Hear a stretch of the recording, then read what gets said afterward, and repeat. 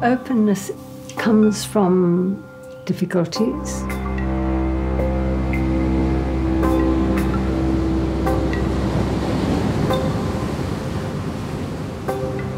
I think you have to work at it when things are not that easy or the wind is blowing too fiercely.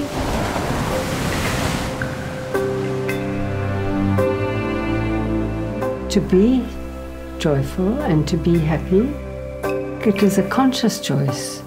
We keep on saying, but I don't want to feel like this if this happens. It may be that's what I dance to. you dance away from things as well as dancing towards things.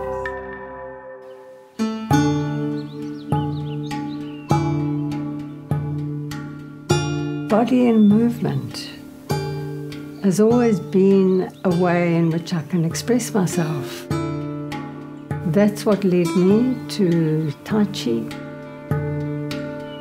Because everything is based on nature, you are moving like water, or you are as alert as a cat waiting to catch a mouse, or as powerful as a hawk.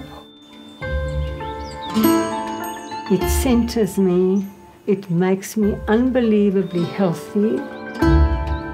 And it's very good to be that way and to not walk out in the street and have aches and pains.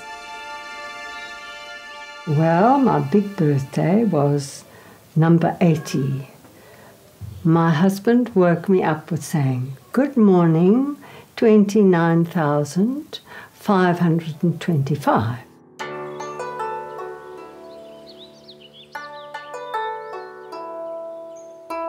Life for me has been like a tapestry that's woven with all the threads of what was fascinating, what was beautiful, the people, the places.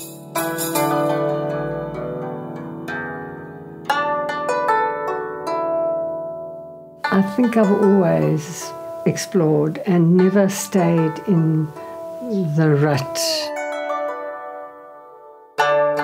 taking time to explore different things, you uncover the most divine treasures. You must explore, you must find where you belong.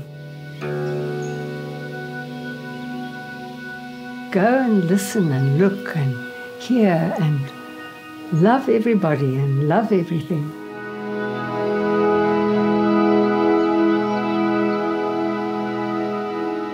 The art of living it's taking each moment, each movement, each action, each relationship with care. So who knows what happens? But um, the journey is going to be good.